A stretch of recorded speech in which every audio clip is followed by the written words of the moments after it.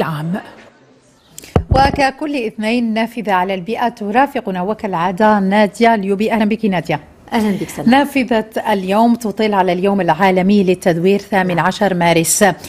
بداية هل من قانون يدبر هذا الملف ملف تدوير النفاية؟ نعم هناك قانون 2800 نحن بصدد الحديث عن هذا القانون والمتعلق بتدبير النفايات وفي الباب الأول سناء هو المادة 22 نجد أن كل عمليات تدوير النفايات أو إعادة استعمال أو استردادها أو استخدامها أيضا كمصدر للطاقة متأتية من استرداد النفايات تدخل في باب تثمين النفايات وذلك من أجل التقليص أو التخلص من أثارها السلبية على البيئة.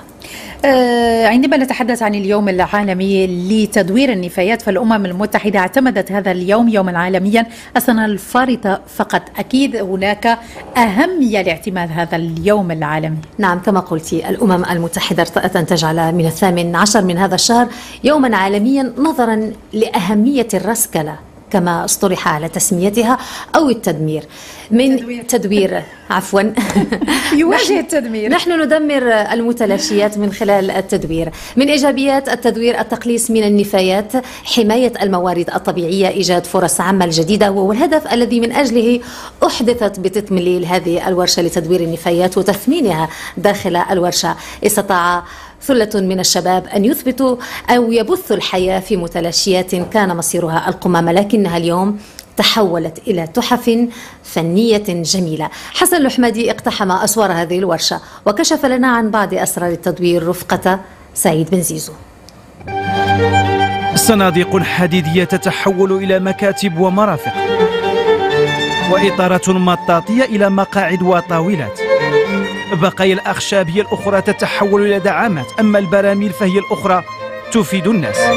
تدخل الإنسان يفتح الباب واسعا على مختلف أوجه الإبداع.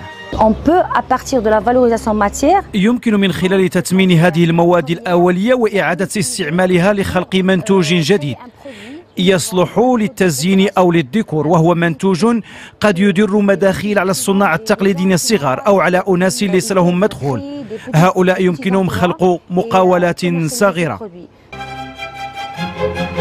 هي شراكة بين طلبة المدرسة الوطنية العليا للكهرباء والميكانيك وهذه الشركة المتخصصة في تدوير النفايات بمنطقة تطمليل انفتاح الجامعة على المحيط قد يضفي طابع الإبداع على المتلاشيات والنفايات. الهدف ديالنا من ال club ديالنا هو مثلا كنحاولوا نفورميو الناس كي كيتعلموا كيفاش يستافدوا من النفايات و même temps يعيشوا بهم من بعد. نماذج جديدة تتسم بالبساطة خرجت من رحم الإبداع. تندرج في سياق انخراط المغرب بشكل فعلي في الاتفاقيات والمواثيق الدولية لحماية البيئة وخلق تنمية مستدامة.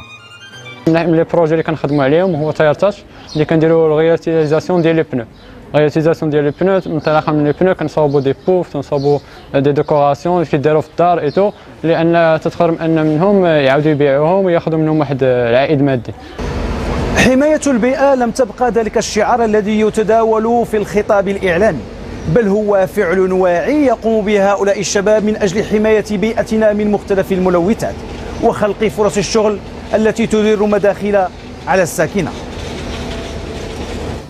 عندما نبتكر في كل ما هو بسيط الصورة لا يمكن إلا أن تكون بهذه الجمالية نعم الابتكار.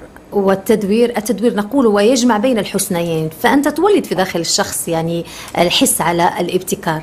إذا من حسنات التدوير أيضا التشجيع على الابتكار وفسح المجال للتنافس لأجل غد أفضل وهو المقصد الذي من شأنه نظمت المدرسة الوطنية للعلوم التطبيقية بالحسيمة. مباراة في الهندسة المعمارية لابتكار جسر خفيف فكان الفوز لفكرة طلبة ابتكروا جسرا من قوارير بلاستيكية. كيف ذلك؟ فؤاد العزوزي معه الإجابة. الإجابة ضمن روبورتاج أنجز بعدسة محمد حجوب.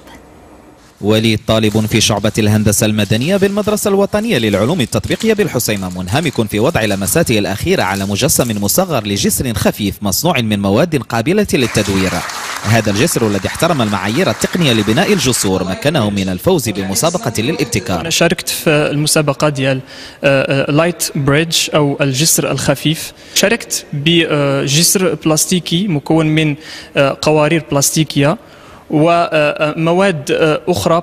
هي تقريبا أيضا بلاستيكية. كان موديل ديال pont en arc وكان un modèle ديال pont portique بالنسبة le choix كان ديال pont portique parce que كان شوية قريب للواقع وكان فيه واحد المجهودات اللي طلب يعني بزاف ديال المعلومات اللي عندها علاقة بال fonctionnement mécanique ديال les ouvrages d'art والمسابقة تدخل ضمن الأنشطة الموازية التي ينظمها الطلبه المهندسون بالمدرسة الوطنية للعلوم التطبيقية بالحسيمة وذلك لتطوير ملكاتهم المعرفية والانفتاح على محيطهم الدراسي لاكتساب الخبرة اللازمة لولوج سوق العمل. هذا النشاط في غاية الأهمية بالنسبة إلينا لأنه مناسبة لتبادل التجارب ولتمكين مهندس المستقبل من ولوج سوق الشغل وذلك بتطوير حس الابتكار والإبداع لدى الطلبة المهندسين يذكر أن المدرسة الوطنية للعلوم التطبيقية بالحسيمة تأسست قبل عشر سنوات وتمنح اليوم الطلبة على مدى خمس سنوات إمكانية ولوج تخصصات عدة في مجال الهندسة الهندسة المدنية أو الهندسة البيئية وكذلك الهندسة المعلوماتية وفي مواقع التواصل الاجتماعي على الفيسبوك بعد تحدي الماء البارد تحدي السن تحدي آخر هذه المرة ببعد أخضر هاشتاغ النطاف نعم انطلقت على صفحات العالم الأزرق كما قلت ما يشبه التحدي بين رواد الفيسبوك. كل من قام بتنظيف مكان عمومي كالحدائق الشواطئ أيضا الشوارع يبعث بصورته قبل وبعد جمع الأزبال هي مبادرة راقية تنمي في النفس الغيرة على ما يحيط بنا والسعي أيضا وراء إبقائه نظيفا. وكما عودناكم نفتح نافذة على المواعيد المرتقبة لهذا الأسبوع. موعد سوف تحتضنه مدينة المحمدية في الحادي والعشرين من هذا الشهر حول الانتقال الطاقي. سبيل للمغرب هي النسخة التاسعة لتظاهرة باور داي ينظمه النادي الطاقي بالمدرسة المحمدية للمهندسين.